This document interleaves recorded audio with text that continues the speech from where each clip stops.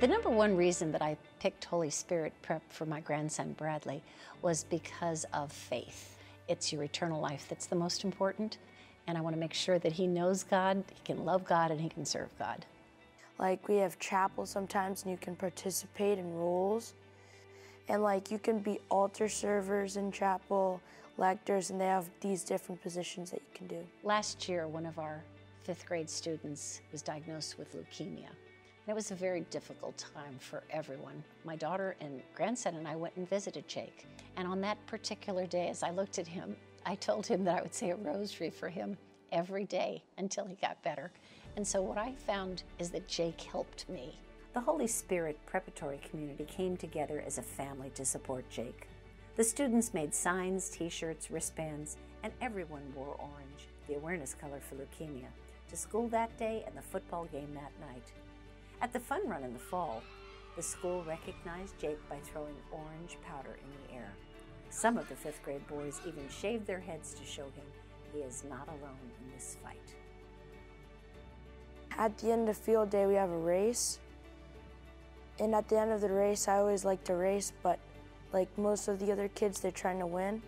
But we let Jake win the race. And it was, we walked with him to the finish line. God pulled through and he survived and he is striving. I feel very good about the academics, and every year we're continuing to strive to do more and more to help our students, not only academically, but in life. Some of my favorite teachers would have to be first grade Miss Gallagher. She was a really nice teacher. Currently, it's probably Miss Marshall. She helps me after school and she helps me understand concepts, and she takes the time. She really all the teachers, they really care about their students.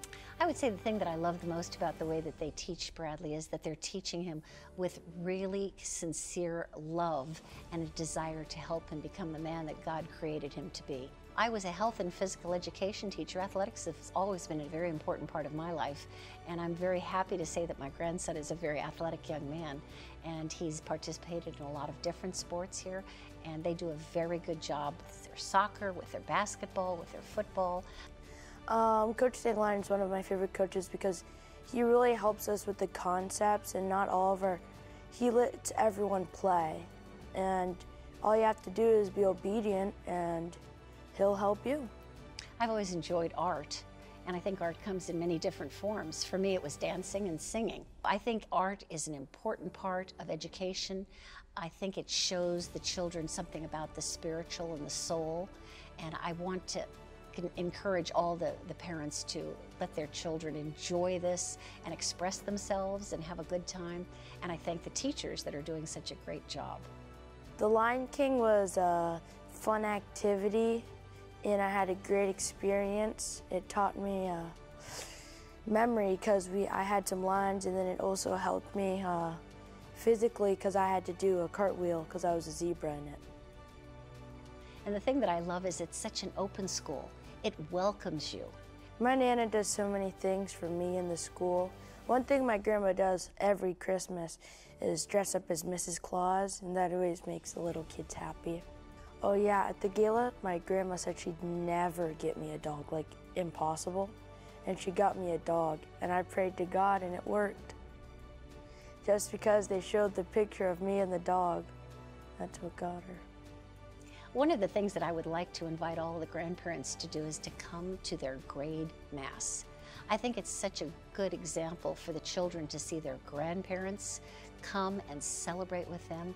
And then, of course, there's always that wonderful opportunity of the all school masses that are held over at Holy Spirit Catholic Church. That's another wonderful opportunity for us to join our children in expressing our faith and our love for God. Another thing that we can do is come to lunch with the children.